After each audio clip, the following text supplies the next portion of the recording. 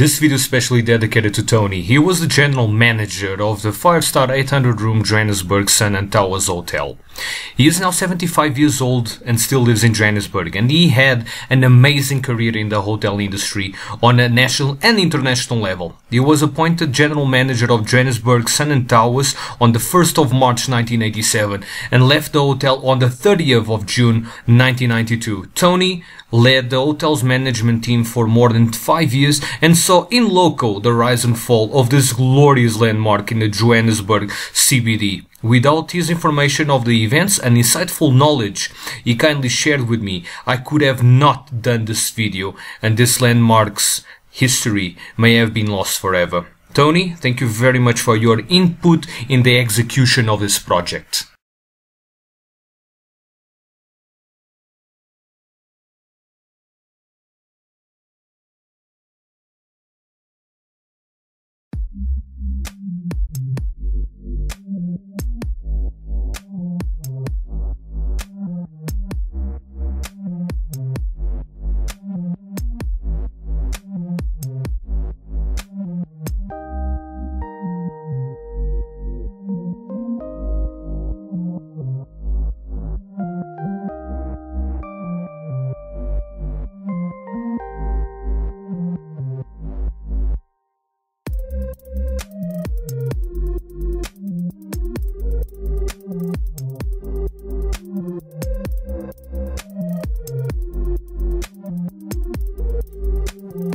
It was the largest five-star hotel on the African continent during the mid 80s to the early 90s, catering for more upmarket business as well as leisure traveler.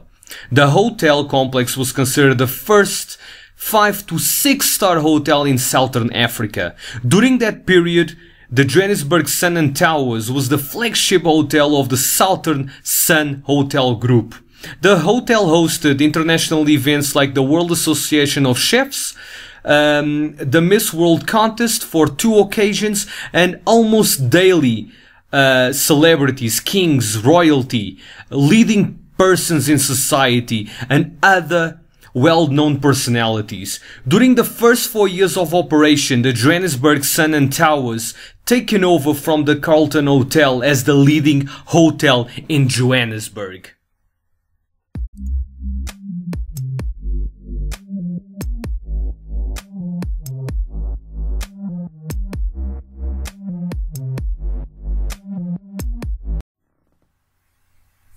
The planning process by Southern Sun to build a flagship CBD hotel in Johannesburg already began during the late 1970s. The Southern Sun Group knew there were a number of revamping and upgrading projects taking place, and the future crown jewel of the CBD area will be the 5-star 800-room Johannesburg Sun and Towers.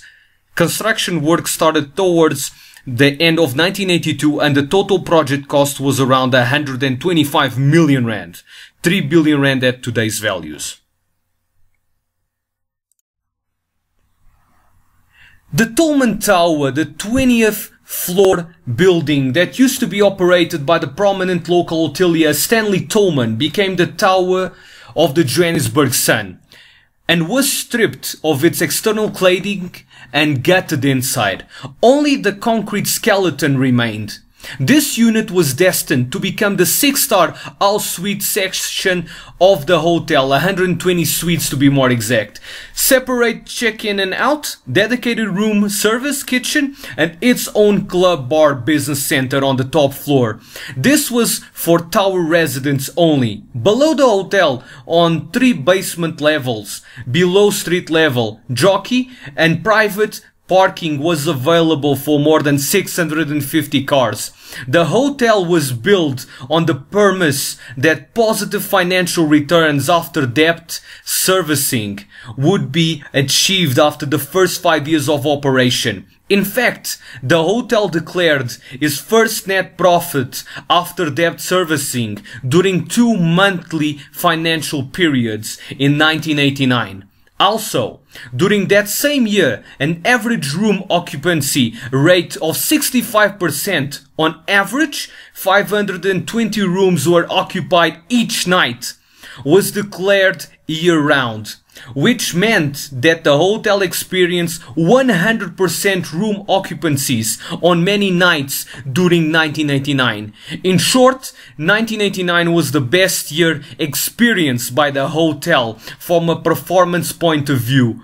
From there on, conditions gradually deteriorated.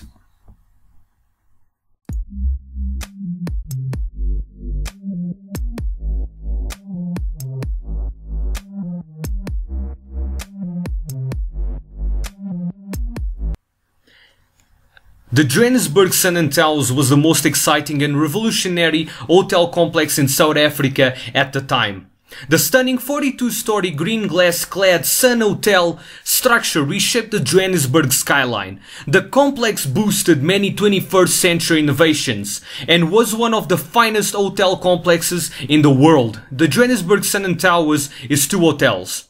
The main high-rise Super 5-star Johannesburg Sun was complemented by the exclusive towers which takes the concept of luxury, service and amenities into the 6-star bracket.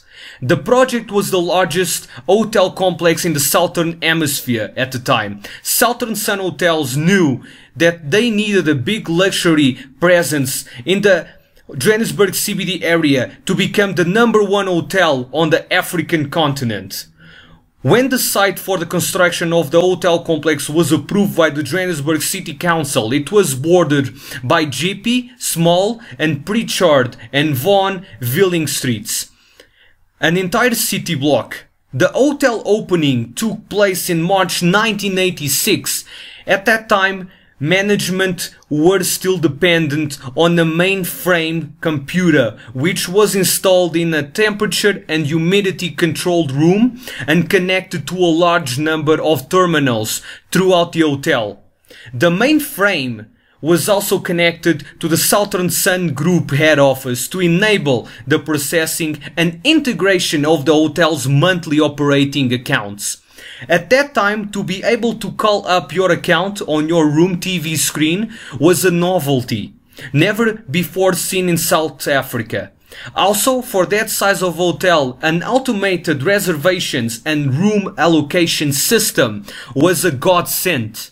In summary, the hotel had at, the, at that time the most advanced levels of automation available anywhere in the world. Remember, all this took place in the pre-internet connected world back in 1986.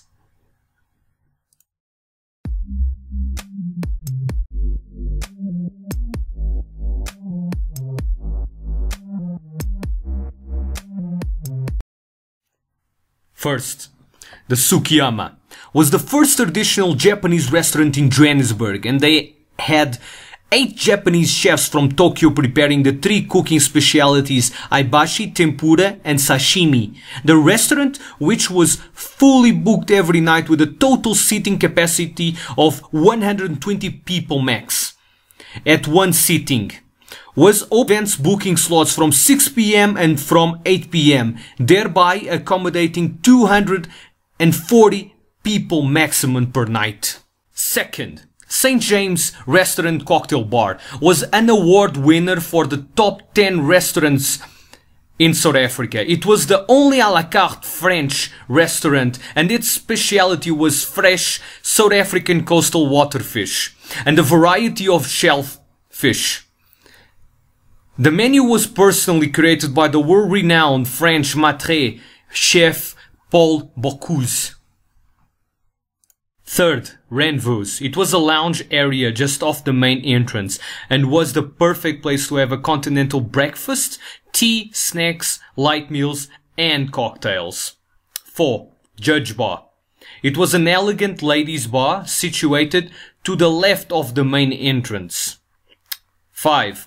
Central Park Pool Deck. It was situated on top of the four-level podium. This extensive area was equipped with a swimming pool for adults and another one for children.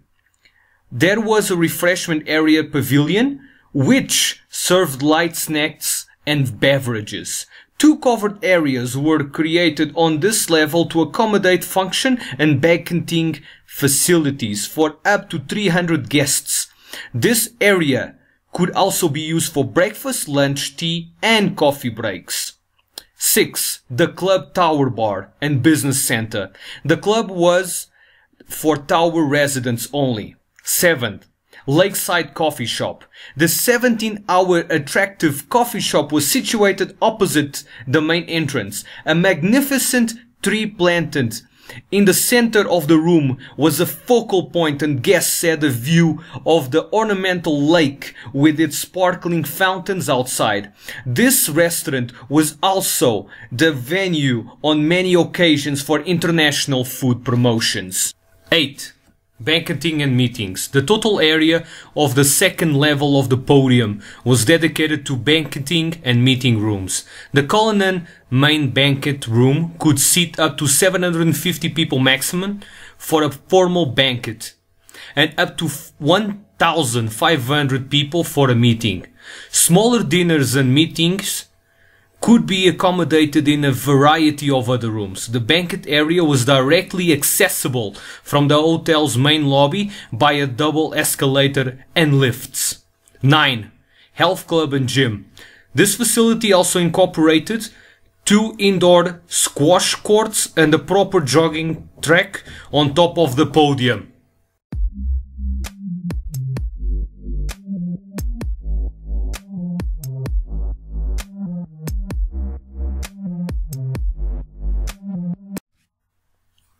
Number 1. Population demographics started to change slowly in the Hillbrow area during the mid 80s and later accelerated very quickly to other parts of Johannesburg. Number 2. Security in the CBD had become a real issue from mid 1989 onwards. In fact, it had become such an issue in 1989 to 1990 that Southern Sun made company owned space available to the SAPS across the main entrance of the hotel in Small Street to set up an open police station. Third, many company headquarters, financial institutions, insurance companies, other businesses, and ultimately the Johannesburg Stock Exchange moved out of the CBD area to the northern suburbs, moves that accelerated from the 1990s onwards. In other words, the CBD was slowly but surely drained of its life and blood big business. Fourth, the hotel, restaurants, banqueting, and meeting businesses also began to suffer negative growth as people were no longer prepared to accept the risks of entering the CBD area from the northern, eastern, and southern suburbs at night. Already during the late 1990s, bearing in mind the fast changing population demographic and security environment, three different operating scenarios were prepared and reviewed. Operating the hotel as a 2, 3 or 4 star level. None of the, these simulations delivered the result which the company could reasonably live with.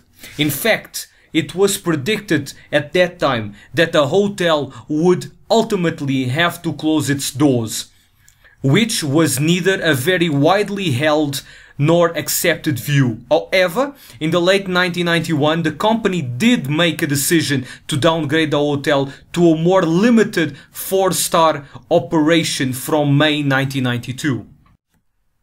After that, the hotel unsuccessfully operated as a 4-star till the end of 1993. The hotel was then further downgraded to a 3-star Holiday Inn Garden Court, with the number of operational rooms reduced to 226 and ultimately closed its doors in 1996. The post-1992 period was just a long slide into oblivion for the hotel.